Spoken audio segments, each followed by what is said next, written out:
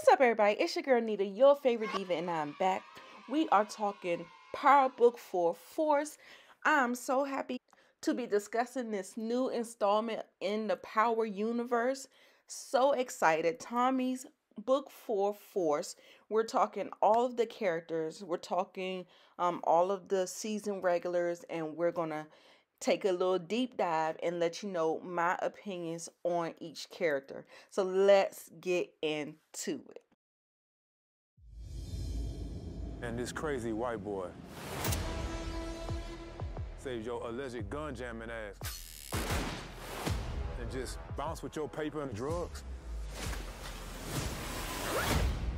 Like Casper the Ghost.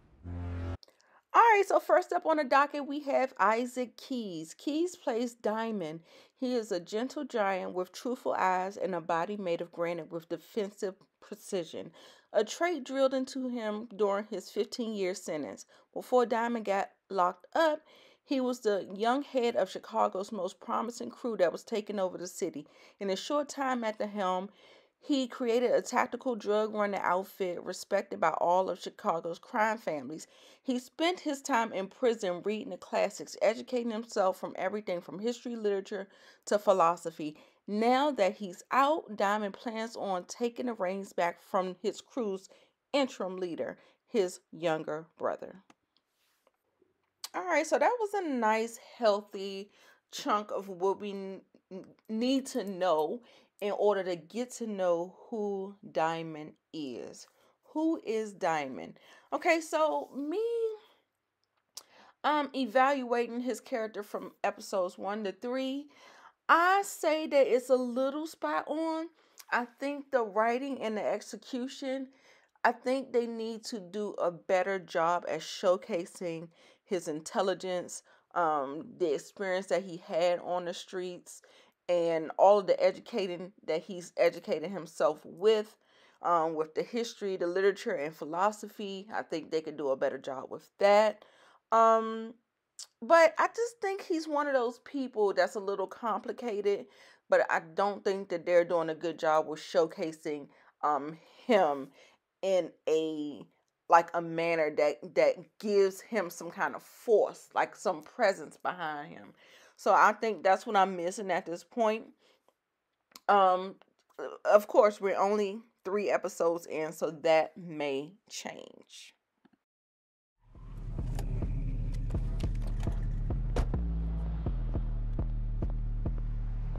Figured I'd introduce myself to the man who seems to have little regard for his own short life. Look at you out here in these streets rolling up on me like a motherfucking OG. Daddy know you out here? How come he ain't never put you on? I'm on, different role. Yeah, well, wherever he has you, it ain't nowhere close to where you should be. Now we have Lili Simmons. She portrays Claudia Claude Flynn, one of my favorite characters thus far in Force, the only daughter to the largest kingpin in Chicago. Astute doesn't begin to describe her. Her intellect is a mixture of Ivy League lecture halls and Chicago street smarts. She is as brilliant as a politician and as, as blunt as a pipe wrench to the face. Claude does not need the green light or permission to set things in motion. She is a fire starter and the one person in Chicago no one should ever count out. In a male dominated business, Claude is determined to carve out her own path and one that might just save her family in the end. Now, like I said, she is one of my favorite characters. I like the way she moves. I like her attitude. I like that she knows exactly what she wants. Um, I believe that um she is one of the strongest characters um other than Tommy in the show. Um, can't wait to see where she's going with this. Well, we do know that she likes girls, so we don't know whether or not she's totally. I I want to say that she's probably bi, but she would probably lean more to the female side. Um, but she's always giving her brother advice. She's always um in her father's office, and hot take, hot prediction. I think because of the way her father treats her, think that she reveres him in a way that they try to make it seem. I think that if she senses any little bit of weakness in him, or if he was on his deathbed from this cancer that he has, she would pull the plug. I'm just saying, you heard it here first. It's my prediction that um, she wants power and she will do it in whatever manner or fashion she sees fit. So, digging her character, love her character, can't wait to see more. I know she's going to be working with Tommy. She's going to be working with her little um, friend that she's um, you know, having, you know, escapades with. So I am so excited to see where her character goes.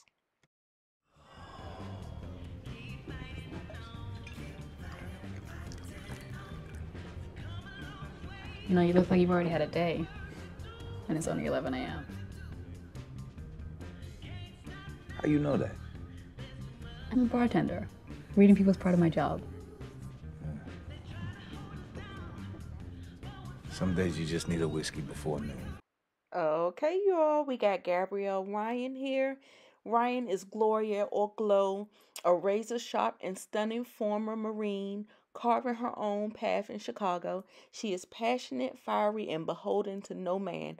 Out of a small kitchen in the back of her bar, she pumps out Michelin level Jamaican inspired dishes.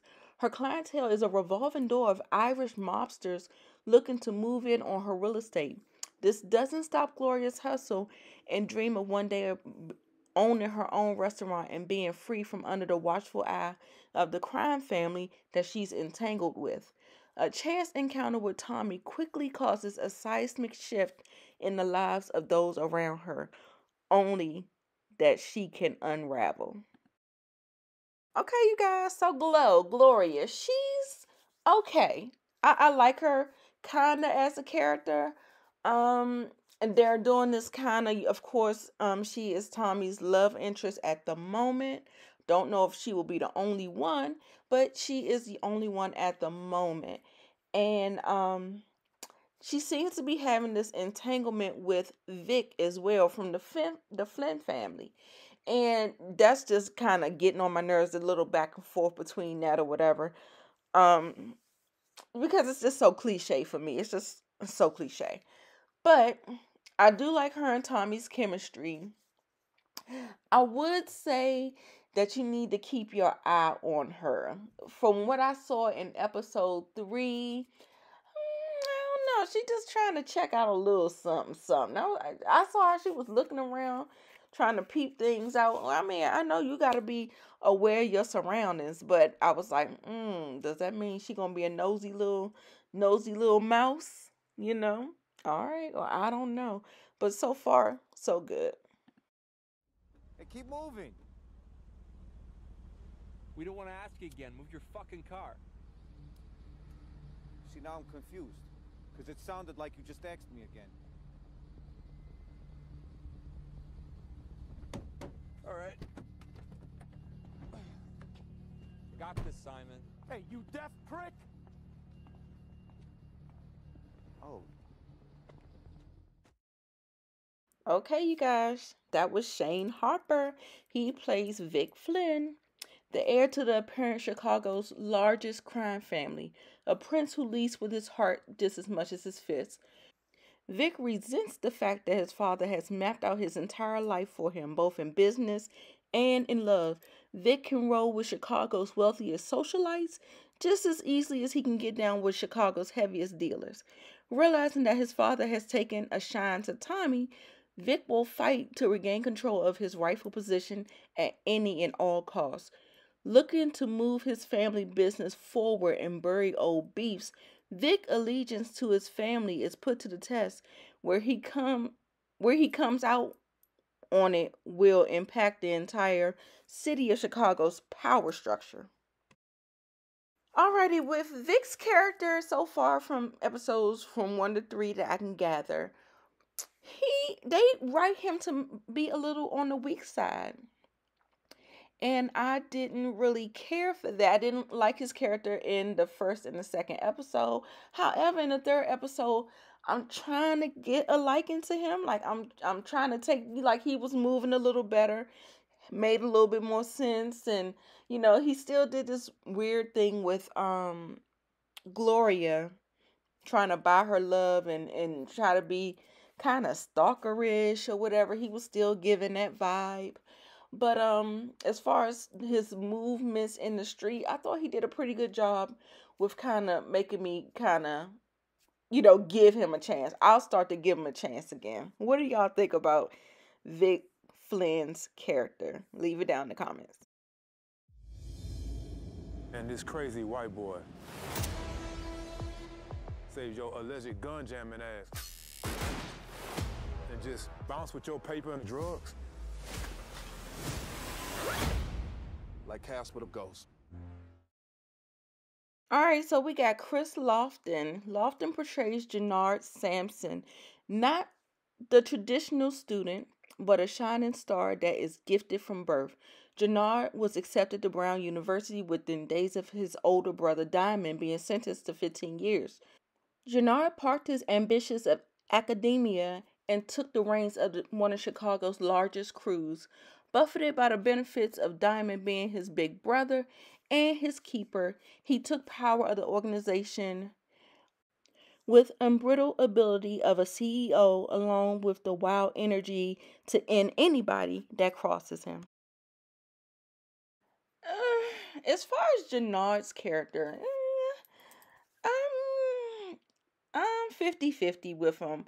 I don't really rock with him too much. They did not I, I'm thinking because they wanted to write Tommy as the stronger character, they've kind of made the other characters look not as good. So I'm kind of struggling. You know, they're the heads and these the, CEOs of these gangs, and the way they perform and the way they move, I just it ain't clicking with me. So I ain't really feeling it.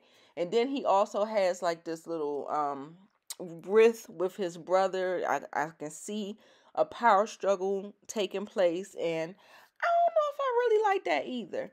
And as far as um Diamond, I think Diamond he really should keep his he keep his nose clean. But you know when you when you have power, you want to take it back. You know what I'm saying? So I think that's just one of those things. But we'll see. We'll see how it go. And who the fuck are you? I'm her grandson. Who the fuck are you? I'm her fucking grandson. What you know about that?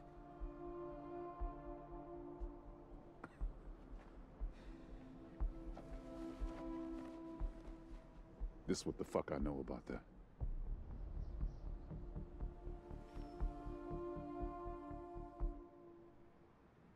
Look, there's a lot for me to process. For me. Okay, so now we have Anthony Fleming the third. Um, he plays J.P. Gibbs, a gifted jazz musician who's toured several continents, developing a rich worldliness that comes through his swagger and his collage of diverse tattoos. JP owns and operates a blues club with his ailing father that has been a target of several attacks by local gang members. as rich as JP life is, he still carries the pain of never having had a mother in his life and having a son he has no relationship with. JP World is thrown off his axis when he crosses paths with Tommy. Okay, so we have JP. JP seems like he's good people's. He's cool, you know, very much so cool, calm, collected. He has some issues with him. Um, I think that he's like on the straight and narrow, but I don't know. You know, we always gonna, you know, keep it in the back of our mind that something else can be going on. There could be some other ulterior motives going on here, but for the most part, I think um his character is cool. We do know that he is um either bisexual or gay. Um, he does have a son, so that speaks to you know the bisexualness of it all. But um, you know, he asked Tommy, "Was it gonna be a problem?" He's like, "Nah, X is X." So you know, for the most part, I like their relationship. I think it's cool. I I really like to see this father they keep talking about, this ailing father. I love to see him. I guess we'll see him uh later on down the line, but for the most part, I like him. I like him. He brings a cool, innocent element to this chaotic story.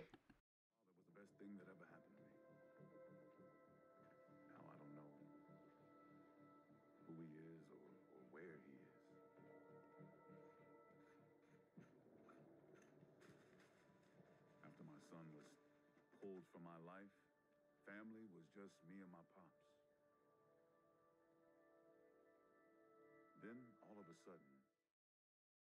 Okay, so we have Lucien Cambric. He is Darnell. He plays D. Mac McDowell, a young man who has been raised in the streets of Chicago's South Side, independent, fiercely loyal, and completely unflinching when called upon to represent his crew. D. Mac is still a kid at heart looking for someone to take care of him. After a with Tommy proves to be more than a fluke, D. Mac looks to Tommy as he hits a crossroads in his life that completely can completely upend his future. Okay, D Mac. You know, I keep on getting him um confused with Ezekiel. Um, but it looks like D Mac is gonna have a part to play in this show. Um, e- even though Ezekiel seems like he has the bigger role, um, it looks like um D Mac is going to have the recurring regular role that's going to really blossom into something. Um, he's hurt. He's a hurt child. It's so crazy. Like the six degrees and the six laws of separation exist in this world, and you know, just knowing that you can be dibbling and dabbling, and you don't even know who you dibbling and dabbling with. So anyway, I'm curious to see how this is going to work out, and um, will he actually have a run-in with his father? Because I don't hear anything happening about that in in this um breakdown. This him? This Jesse fucking James? In the fucking flesh. Walter Flynn. Yeah, I've made quite the impact on my family here. And my city. You know who the first victim of that fire was? Okay, we have Tommy Flanagan. You may know him from Sons of Anarchy. He plays on a lot of different things. But um Flanagan is Walter Flynn, the big honcho, the head of the average crime family in Chicago. Despite living a life of immense prosperity in his castle on the lake, he longs for the way things used to be. Walter believes that without community, family, there is no tradition, and his deeply held code of honor bleeds into every aspect of his life. As he's ushered his family into the 21st century, Walter quickly saw the criminal organization he built facing threats he never accounted for. Okay, so Walter Flynn, Walter Flynn. For some reason, they are propping him up to be the big, big man on campus, but I don't see um Walter lasting for too long. Despite him having cancer, which is a big thing, right? You know, a lot of times these older figures they are struck with some kind of ailments. You see that in most of the shows um, nowadays. But um, for some reason, I really don't think that he is going to last too long.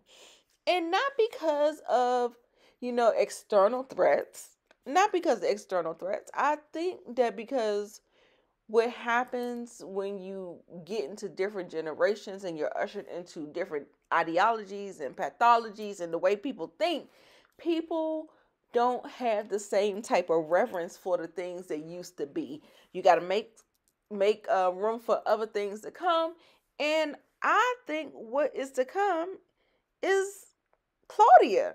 His daughter is coming for his spot. So, yeah, it's just good to see all of this come together. This is basically um, my breakdown of Force, the character descriptions, and what I think about the characters from episode one to three. Um, I like it. It's good. It's interesting. And of course, we all know the person, Tommy.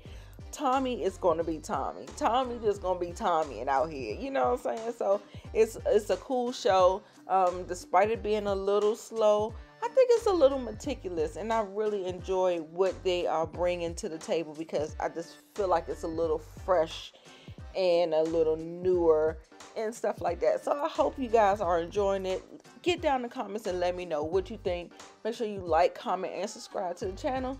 I'm Nita, your favorite diva, and you make sure you come back.